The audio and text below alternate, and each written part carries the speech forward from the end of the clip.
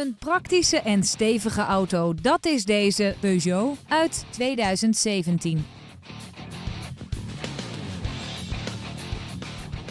Een krachtige driecilinder benzinemotor en een prettige handgeschakelde zesversnellingsbak zorgen voor de aandrijving van deze stoere SUV.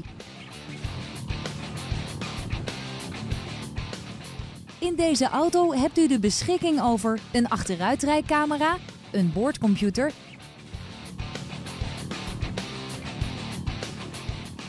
Als speciale veiligheidsfeatures heeft deze Peugeot bovendien een bandenspanningcontrolesysteem,